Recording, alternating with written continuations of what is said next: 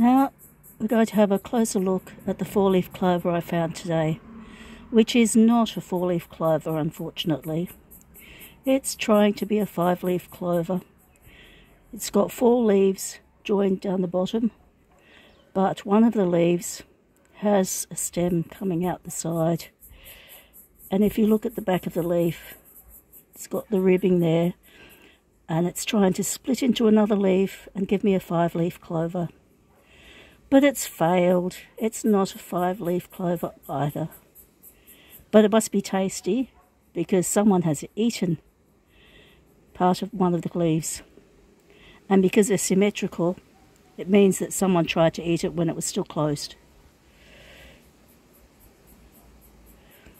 And there you have, not a four-leaf clover, not a five-leaf clover. It's hard to find a four-leaf clover.